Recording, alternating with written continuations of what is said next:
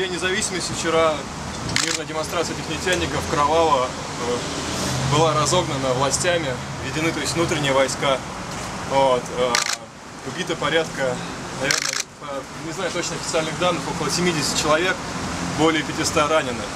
Вот, и сегодня мы пришли в посольство Казахстана, э, дабы почтить память погибших людей, дабы выразить солидарность казахстанскими рабочими, с, э, с- с уже погибшими людьми. Это гражданская акция, она не партийная и не имеет отношения к каким движениям. Очевидно, что там просто замалчивается ситуация, отключен интернет. Все это никакого отношения не имеет к демократии.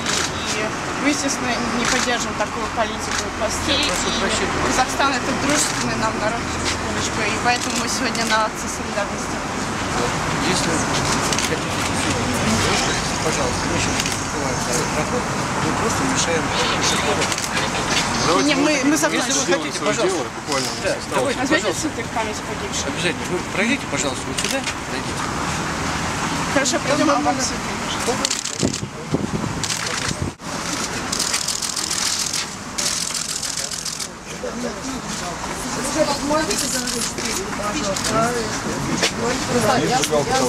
А есть зажигалки?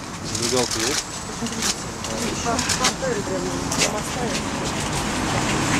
Походу, да.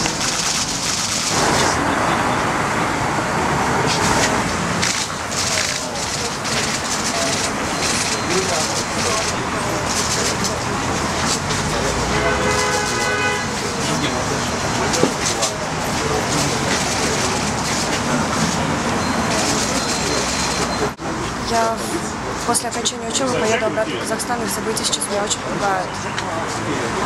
Я никогда не, не интересовалась политическими э, веяниями, но это событие меня заинтересовало, я решила прийти сюда и выразить солидарность с тем, кто сейчас борется за свои права, за свою свободу. Потому что действительно нечестно то, что происходит. Э, Дороги разбиты, ничего не делается цены растут, а зарплаты не повышаются, наоборот, даже понижаются. Я не думаю, что я бы вышла на митинги и стала бы драться. Я бы, скорее всего, пошла в больницу и сдала бы кровь для того, чтобы помочь людям. как. Как вы думаете, чем это все может закончиться? Попахивает революция, на самом деле. Но я не знаю, я надеюсь, что закончится мирно и люди договорятся.